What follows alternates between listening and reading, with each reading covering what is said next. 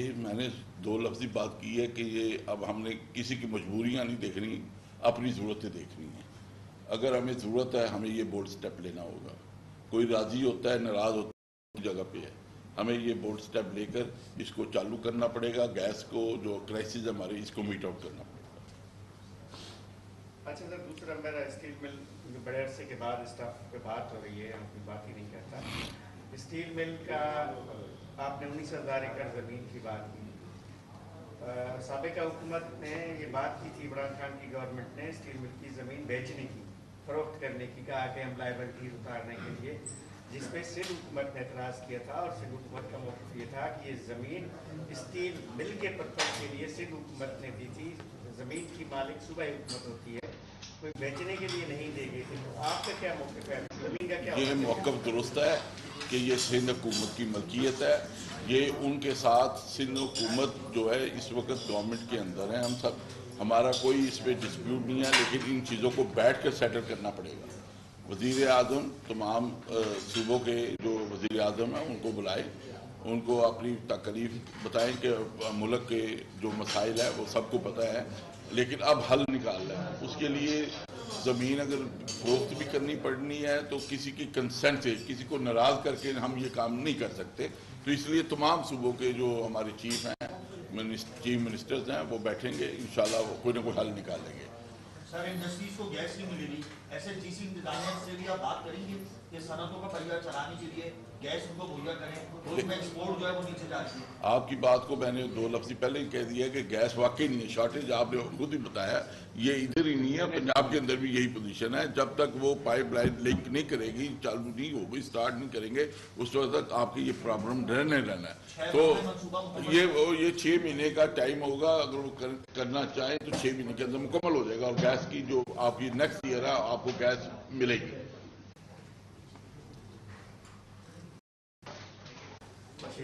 Thank you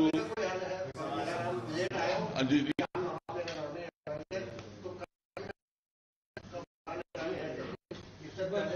भाई gas का बुरान हर जगह पे है। देखिए यहाँ पे, मैं यही अर्ज़ कर रहा हूँ, ठीक है, यहाँ पे भी है, हर जगह, पूरे पाकिस्तान में गैस का है, सिर्फ़ हल एक ही है।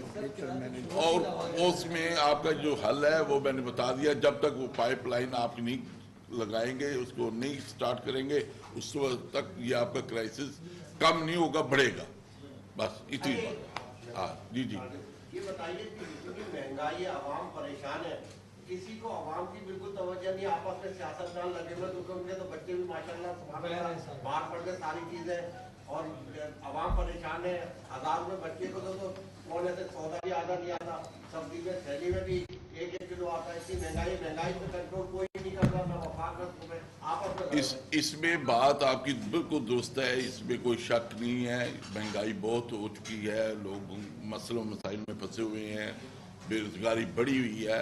इन चीज़ों का हल सिर्फ़ एक ही है, तमाम सियासतदान। मुल्क का सोचें, बैठें, बात करें, इकतदार अनियन चीज़ है, इसमें ना पड़े और इन मैं कहता हूँ, जब आप बैठेंगे टेबल के ऊपर तो मसाइल का हल निकलेंगे। अगर इमरान खान यही कहता है, इलेक्शन का, इलेक्शन ये हल तो नहीं है बेरोजगारी का, जो अपना टेनोर है पार्लियामेंट को पूरा करना चाहिए, और पार्लियामेंट अपना टाइम पूरा करेगी अब आपके पास चॉइस होगी, अपना वो करेगी लेकिन इस वक्त जो बैठकर अपोजिशन को अपना किरदार अदा करना चाहिए, इसमें भी कोई शक नहीं है कि गवर्नमेंट में शामिल हो गए।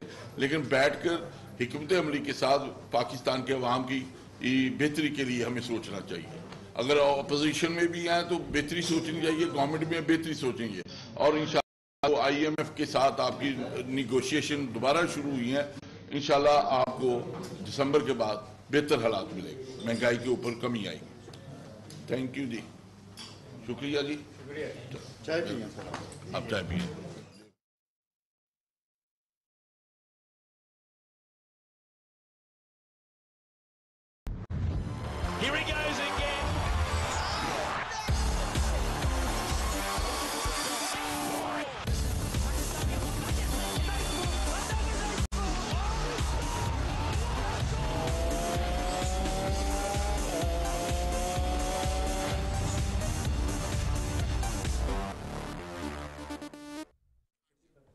अस्सलाम वालेकुम जी मेरा नाम है सैयद मोहम्मद अवैस और आप देख रहे हैं प्रोग्राम स्पोर्ट्स 360 और मुझे ज्वाइन करें पाकिस्तान क्रिकेट बोर्ड के गवर्निंग बॉडी के अहम हिस्सा भी रहे हैं साथ साथ सीनियर स्पोर्ट्स जर्नलिस्ट भी हैं शकील शेख साहब। अस्सलाम सर। सर बहुत बहुत शुक्रिया आपके टाइम का साथ साथ में ज्वाइन करिए। पाकिस्तान की सबक कप्तान ब्रॉडकास्टर प्रेजेंटर हैं सना मीर। अस्सलाम वालेकुम सना। वालेकुम बहुत बहुत शुक्रिया सना आपके टाइम का। और जैसे कि सब आप जानते हैं कि दूसरा टेस्ट मैच जो कि नौ तरीक को स्टार्ट होना है 17 साल बाद टेस्ट मैच खेला जाएगा पाकिस्तान वर्सेस इंग्लैंड का मुल्तान स्टेडियम में। कैसी तैयारियाँ वहाँ चल रही हैं और क्या- चेंजेस मतवक हैं टीम के अंदर? शेख साहब, आपको कुछ चेंजेस नज़र आ रही हैं? स्पेसिफिकली अगर आप पिच रिपोर्ट की बात करें, कुछ आपके पास, कुछ अपना पता लगा हो कि पिच किस किस्म की रिएक्ट करी? क्योंकि आपको पता है बेन स्टोक्स ने भी आज कहा कि हम जारहाना जिस तरीके से हमने आगाज़ किया था, पिंडी स्टेडियम के अंदर, वही हम कंटिन्यू यहाँ मुल्तान में भी करेंगे। नहीं फ़र्स्ट थिंग फ़र्स्ट बिच तो देखें, जो दोनों रिपोर्ट्स आ रही हैं, या विजुअल्स आ रहे हैं, ये जितनी भी क्लिप्स आए हैं सिमिलर लग रही है पिंडी और मुल्तान की। सिर्फ़ वेदर का थोड़ा सा फ़र्क है, बाकी पिच तकरीबन इन्होंने वहीं से बनाई है शेव ऑफ़ कर दी है, कोई ग्रास व्रास नहीं है, कोई कुछ नहीं है, उसी तरह की क्रिकेट है, उसी तरह की पिच है। जहाँ तक आपने चेंजेस की बात की है तो चेंजेस बड़ी सिंपल सी हैं। ज़ाहिर हारस रऊफ़ की जगह आपने किसी को लाना है, बाहर से आपने किसी को इंट्रोड्यूस नहीं किया। अठारह का जो आपका स्कॉट था, आप उसी में से लेना चाहिए इसका मतलब है या वसीम खेलेगा। या फिर फ़हीम अशरफ खेलेगा। और स्पिनर, क्योंकि आपने चेंज करना है, सारे लोग उस पर एतराज़ कर रहे हैं जायद महमूद पे।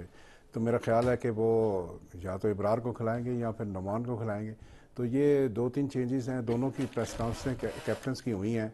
मुझे जो इंग्लैंड के हैं, बड़ा एग्रेसिव लगा कैप्टन और उसने मतलब उसने तो इतना चैलेंज थ्रो कर दिया है। ओवर आ करने की बात की है उसने कि भाई मेरे तो दो ढाई सौ अगर रन भी हुए तो मैं दूसरी बारी का सोचूँगा ही नहीं। मैं पाकिस्तान को पारी करा दूँगा। यानी वो इतना वीक ट्रीट कर रहे हैं या इतना एक चीज़ को ओवर आ करना वो कहते हैं। बाबर आज़म की भी मैंने सुनी है। बाबर आज़म ने तो मतलब है कि जो ट्रेडिशनल होती है वही की कोई एग्रेशन शो नहीं किया कोई चैलेंज थ्रो नहीं किया। शायद वो मेरा ख्याल है कि कूल एंड सेफ़ लेकिन शेख साहब जैसे आप कह रहे हैं कि एग्रेशन शो नहीं किया सर ना अगर आप बाबर आज़म की भी अगर आप प्रेस कॉन्फ्रेंस सुने तो वही मैं कहता हूँ कि थोड़े ठंडे मिजाज के लगते हैं। वो एग्रेशन है नहीं उनकी बॉडी लैंग्वेज के अंदर जो कि कप्तान का होना चाहिए। लेकिन एक ये मैं कहता हूँ कि ज़रूर इम्तिहान है इस वक्त दूसरे टेस्ट मैच के अंदर, क्योंकि जो परफॉर्मेंस है बाबर आज़म की इन कंपनी की, उनके ऊपर कड़ा इम्तिहान ये है कि आपने कैप्टनसी जोन सी है, वो किस तरीके से, किस तरीके से आप लीड करते हो अपनी टीम को? देखिए कॉन्फिडेंस की भी बात होती है ऑब्वियसली इस वक्त कॉन्फिडेंस बहुत ज़्यादा बेन स्टोक्स की तरफ़ है। जिस तरह की वो टेस्ट क्रिकेट खेलते हुए आ रहे हैं, जिस तरह की उनकी अपनी परफॉर्मेंसेज रही हैं बड़े मैचेस में इंग्लैंड के लिए तो ऑब्वियसली कॉन्फिडेंस उसकी साइड उनकी साइड पे बाबर आज़म की अगर आप प्रेस कॉन्फ्रेंस के बारे में भी देखें तो जो मैंने क्लिप्स देखे हैं उनके, उसमें थोड़ी सी जो है वो अंडर कॉन्फिडेंट नज़र आ रहे हैं कि वो कह रहे हैं, हमने पिच बनाने का कहा तो है, पर अब देखेंगे इम्प्लीमेंटेशन कैसी हुई है हमने कहा है स्पिन विकेट बने, पर देखेंगे कि बनती है कि नहीं। सो अभी खुद भी क्लियर नहीं है अ, कि किस तरह की पिच वहाँ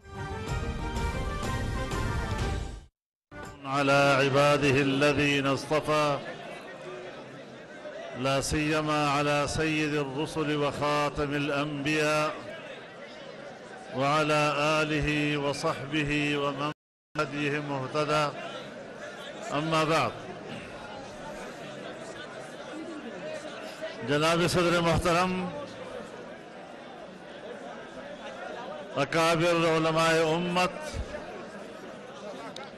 बुजुर्गान मिलत जुमाए कौम हमारे दीन बलोचिस्तान जमीयत इस्लाम के जियालों